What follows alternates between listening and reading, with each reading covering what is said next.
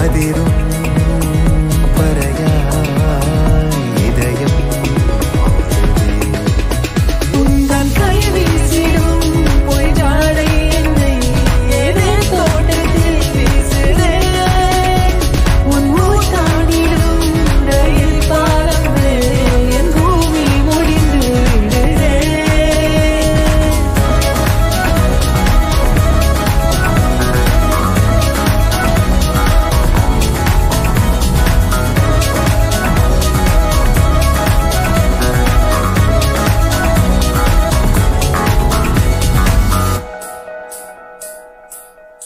என் தாயோடும் கூறாத வார்த்தைக்குள் நான் நீந்து